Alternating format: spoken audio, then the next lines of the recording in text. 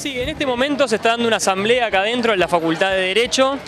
Hoy a las 4 de la tarde el juez Piombo tenía que venir a dar clases, él suspende la clase un poco sabiendo la cantidad de estudiantes que iba a haber, la cantidad de medios, temeroso de, que sabe que no puede dar respuestas ante la situación y también de, lo que hizo. Concretamente nosotros lo que, estamos pidiendo, lo que está discutiendo en la asamblea, es que una persona como esta no puede seguir dando clases en la universidad pública porque no se trata solamente de, de este fallo o este fallo no es una cuestión aislada que simplemente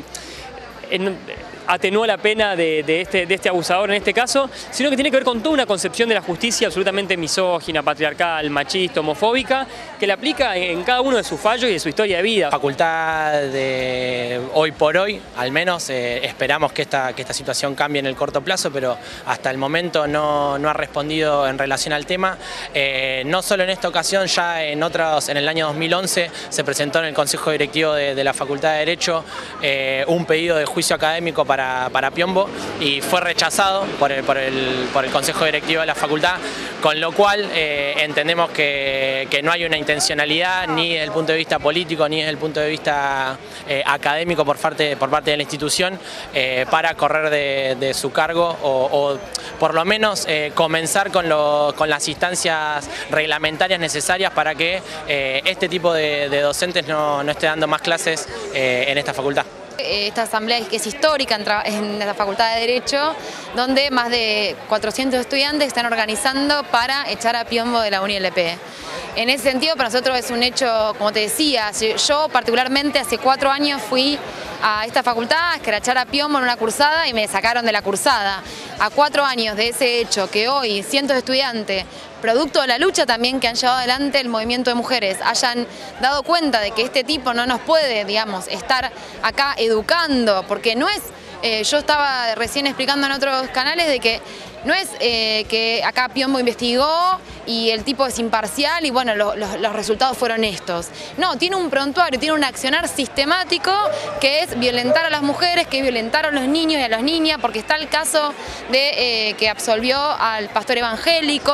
le redujo la pena eh, por violar mujeres de entre 14 y 16 años. La verdad que estamos muy contentos porque es una asamblea inmensa, si se han podido filmar lo podrán ver, hay un montón de estudiantes independientes, de docentes, de graduados, eh, donde estamos realmente debatiendo muy preocupados, digamos, con esto que pasa, que tenemos docentes eh, titulares, eh, en el caso de Piombo, bueno, Isán Largués es, docente de Derecho Penal, que emiten fallos que realmente son vergonzosos, que concretamente violan tratados internacionales como el Tratado del Derecho del Niño y concretamente tienen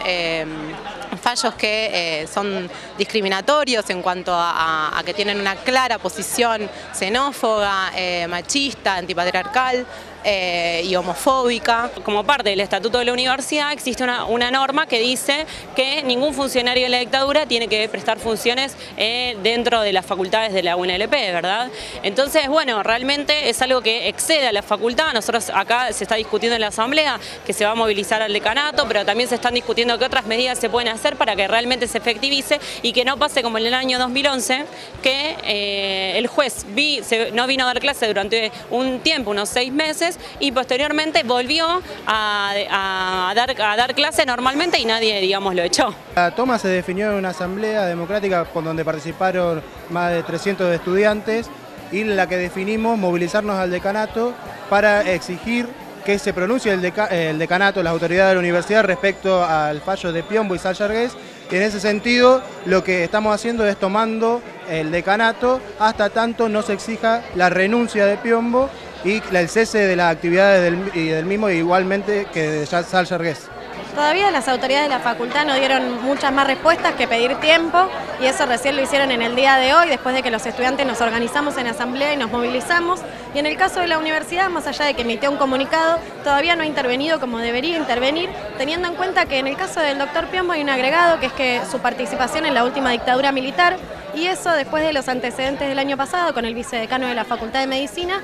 amerita una intervención directa del rectorado, ya que por estatuto está prohibido que gente vinculada al terrorismo de Estado sea docente o tenga algún cargo en nuestra universidad. Por eso es que mañana también nos vamos a movilizar, porque más allá de lo que le corresponde a la Facultad de Derecho, es importante que la universidad se expida y expedirse no es emitir un comunicado, sino empezar el juicio académico por su participación en la, en la última dictadura militar también.